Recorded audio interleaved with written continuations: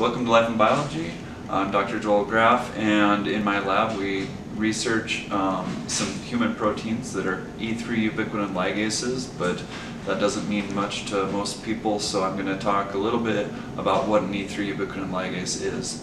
And in essence, it's an enzyme that is the third enzyme in an enzyme cascade. So there's an E1 protein, an E2 protein, and an E3 protein proteins we study are these E3s, the blue ones, but let's start at the beginning. You have a small protein that's just 76 amino acids called ubiquitin in the cell, and it is a protein that can be covalently attached to other proteins. How this happens is you have an E1 enzyme, which is known as an ubiquitin activating enzyme.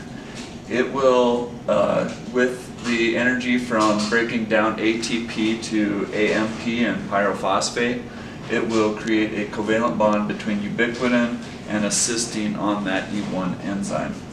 That covalent bond then gets transferred onto an E2 enzyme, and I didn't write it here, but the E2 is called the ubiquitin conjugating enzyme. So the E1 that has the ubiquitin interacts with the E2 E1 loses the ubiquitin, now the E2 has the ubiquitin uh, conjugated to also a cysteine on that protein. Then the E2 interacts with uh, an E3 protein, and importantly, for the type of E3 enzymes that we study, the E3 protein interacts directly with the target, and when there is an interaction between the E2 and E3, the E2 is brought into close enough proximity to the target protein that the ubiquitin is, rather than being transferred onto the E3 enzyme, it gets transferred onto the target protein. So now you've got a target protein that has a ubiquitin covalently attached. These were attached to cysteine residues, whereas on the target, it's attached to a lysine amino acid residue. The E3 can then let go of the target protein so that you have a target that has ubiquitin uh, over here, or, and that's what's kind of shown with this picture, but it could interact with that same protein again to go around the circle, interact with a, another E2 that has been ubiquitinated, and get a second ubiquitin added onto the target. So here instead we'd have two ubiquitins drawn on this target. This can happen over and over and the ubiquitins will be put onto consecutive ubiquitins building a chain of ubiquitins on the target molecule. That can be important for signaling pathways but it can also signal to send the target to the proteasome which is a protease complex that chews up the target protein. Um, we'll talk about that proteasome activity in another experiment. Another thing to know about E3 enzymes is they may interact with that green target like I've been showing in these pictures, but the E3 may, might also have another protein target or, or more than one other target in the cell. So there is going to be a subset of proteins that the human genome encodes that are going to be targeted for post-translational modification by the E3 enzyme through this pathway.